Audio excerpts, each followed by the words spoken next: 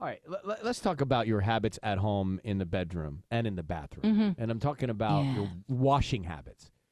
Do you reuse a towel in the bathroom? I do. I do too. Do you reuse a washcloth that you used in the morning later that day? I don't use washcloths, but Wow. no, not if there's makeup all over it. I Your would probably get a new Sans washcloth?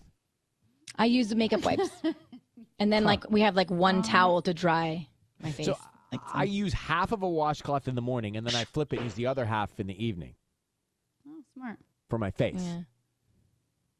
Well, you're not Good struck by scrub. that. Fine. Sure. Okay. I thought it was a great little hack. Everyone had- does their own Makeup thing. wipe. What about your sheets? I use a makeup And wipe. wh- What is wh- wh- what is like appropriate and what is people's average when they wash their sheets? When do you wash your sheets?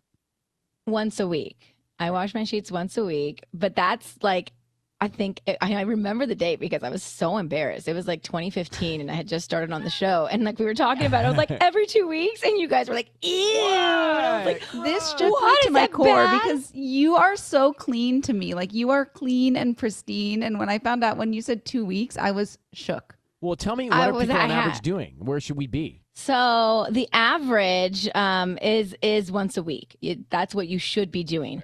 But there was this survey done. Two thousand adults were asked how often they wash their sheets. One out of three people said once a year. Once a year. I'm not down. Think of all No, that's One not out okay. of three. If you got a dog. And That's like skin yes, sheds. thirty percent, thirty something percent of people said That- they they wash their sheets That's once a year.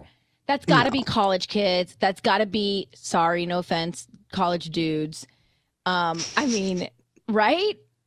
Oh, Yeah. yeah. Look, I mean, mine is driven by convenience and, you know, is did Georgia sleep in my bed and slobber last night?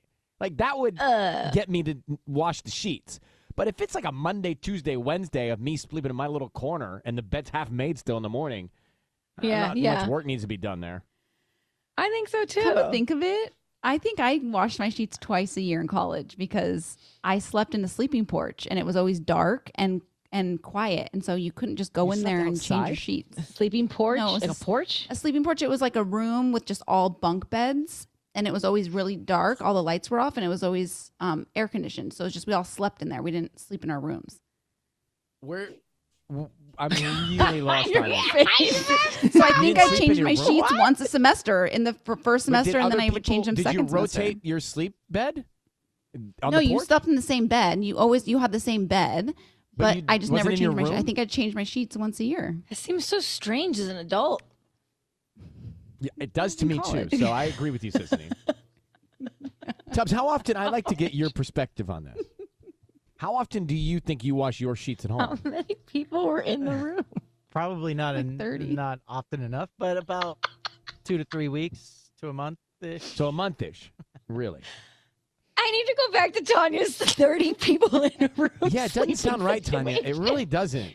Do we need to call your family? Would you guys hook up with guys? Like how? They, I'm assuming No, you there was never no brought boys a allowed.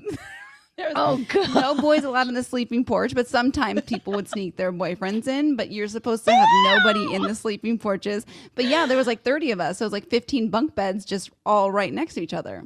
Hmm. And How many you years heard was all the noises? Yeah, I did this for three years in my sorority house. How have we never Three uncovered years? this nugget? Three this may explain a lot. I mean, This is a defining This- moment of your history. it really is. And those were like defining years of like growing up and becoming an adult and like all no this and that. you don't like being alone ever, and you always want us around. Because you Yeah, on a sleeping makes- porch. because you slept Yes, with 30 slept with- people every night. Like, Every night. heck, man? Socrates better hear this. Needs to know. I'm dying. I'm literally crying over this. I cannot believe for three years you slept with this many women in a room. I.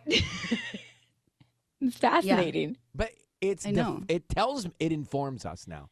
Now it informs My dad, a when my little. Well- dad, when my dad saw it, he said it reminded him of when he was in the army. okay, let's take a break.